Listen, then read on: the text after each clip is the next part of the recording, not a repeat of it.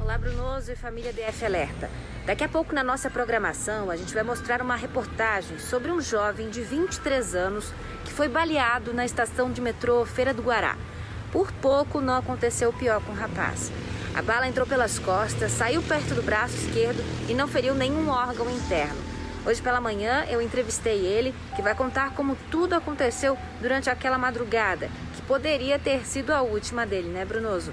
Volto com você no estúdio, mas posso voltar a qualquer momento com mais notícias aqui do DF e também do entorno, porque essa é a TV Brasília chegando junto onde a notícia está.